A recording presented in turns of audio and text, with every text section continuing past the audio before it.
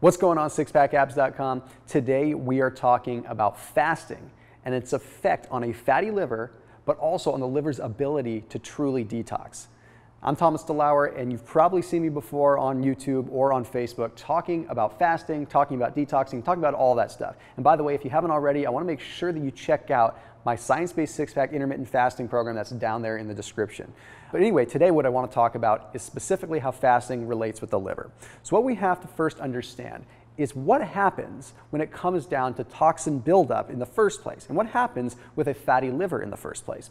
You see, what ends up happening is the liver goes through a process of, of course, detoxing. But whenever we have an influx of calories, or an influx of even nutrients, or an influx of toxins, the liver ultimately becomes a little bit sluggish. It has no choice to. It has to get all this stuff processed, so it gets a little bit bogged down. So what ends up happening is when the liver is bogged down, the backup plan is for toxins to get stored in fat cells. And this is a pretty common thing. We always have toxins stored in our fat. But what ends up happening is during any kind of calorie surplus or any kind of fat accumulation, this is exacerbated.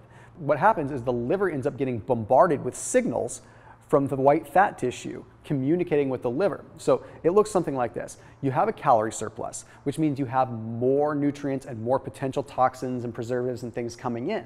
So the liver gets a little bit overwhelmed. Well, at the same time, your white adipose tissue, your fat tissue that's just your good old fashioned insulating fat tissue that's around your body, ends up accumulating more cells. Well, when that accumulates more cells, it sends signals to the liver, specifically inflammatory signals. So what this does is this triggers the liver to be on even more alert and it triggers it to go into even more of a toxic phase. So essentially what this means is you're bogged down at the liver level and at the fat cell level. This is extremely tough. So what ends up happening is the liver ultimately starts storing some of these carbohydrates that you consume and storing some of these other calories as fat.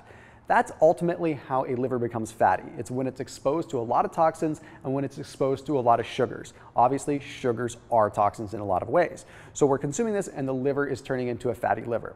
So what ends up happening then is not only is your liver toxic, but the first place that the liver can ultimately put toxins is in the fat next to the liver. So not only do you have a fatty liver, you have a toxic fatty liver. So the fattier that your liver is, the more prone to toxin buildup that you already are, and the slower that your liver functions. So it's this vicious cycle once again.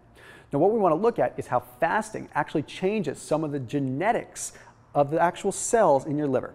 So what we're talking about today is a study that was published in the journal EMBO of Molecular Medicine.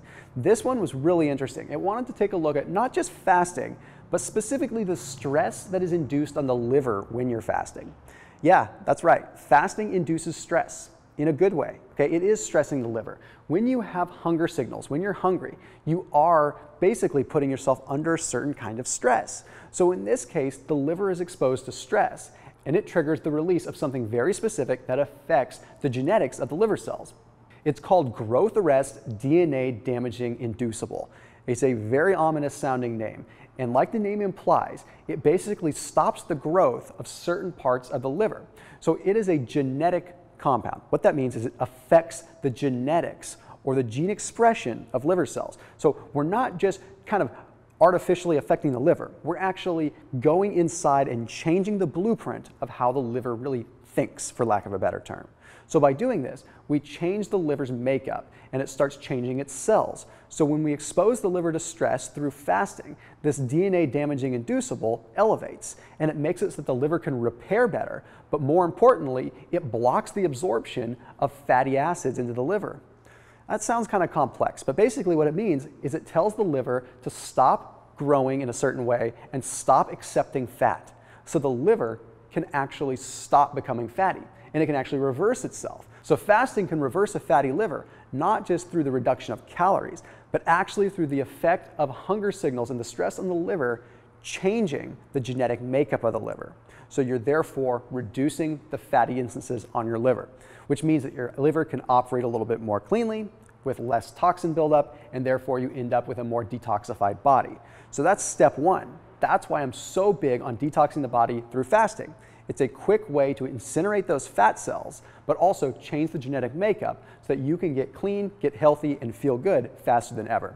Now, if you have ideas for future videos on fasting, you know where to put them. I've got a load of them and they're already here on sixpackabs.com. But if you want more, just let me know. I'm happy to dish them out. And as always, make sure you're checking out that science-based six-pack program down in the description below. I'll see you in the next video.